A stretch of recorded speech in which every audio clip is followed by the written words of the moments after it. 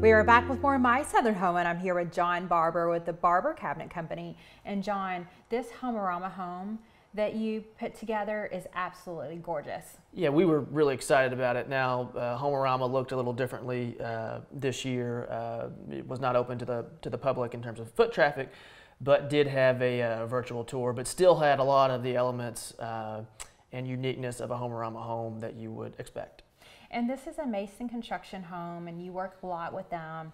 And I love the fact that you guys always take risk on your Homearama homes. That's right. Uh, you know, the other thing about Homearama is typically uh, there's a designer involved. So Leslie Lewis and Associates, uh, Tammy Randall helped us out uh, with this home.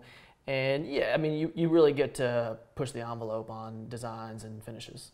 So tell me about the kitchen because it's white oak, which is a trend right now to use.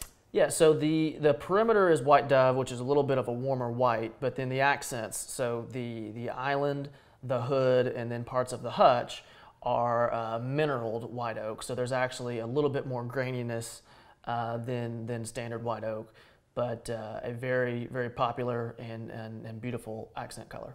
And it looks gorgeous, flanked by the brick archways. That's right. And then we should also mention not just the kitchen, uh, the master was also the mineral white oak, the powder room around the corner. There's a little, uh, almost like a dry bar that coordinates with the uh, kitchen and all goes really well uh, with the rest of the finishes in the home. And the lower level is absolutely gorgeous with the blue jean finish. Yeah, and that's a really, really unique uh, finish, multiple steps, uh, but I'm sure you guys will get some shots of that. It, it, it it really is a very uh, uh, unique and, and kind of fun finish. One of the things that a lot of people don't realize when they're making custom cabinetry is that Barber Cabinet Company can custom blend colors. That's right. I mean, we, we work with uh, Sherwin-Williams and, you know, we can send it off and they can perform a match. Uh, you know, even in the kitchen here, it's not just the, uh, not just the finish necessarily, but actually the, the, mater the material was a, was a special order.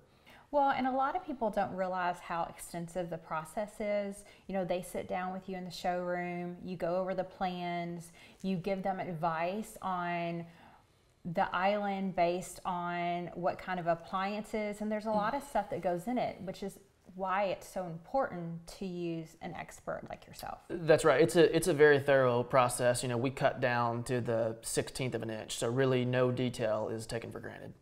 And that's very important when you're making such an investment, John.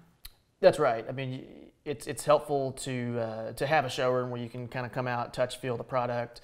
There's always going to be a little bit of a leap of faith, uh, but it, but it, but it's helpful to see uh, at least some of the items on full scale.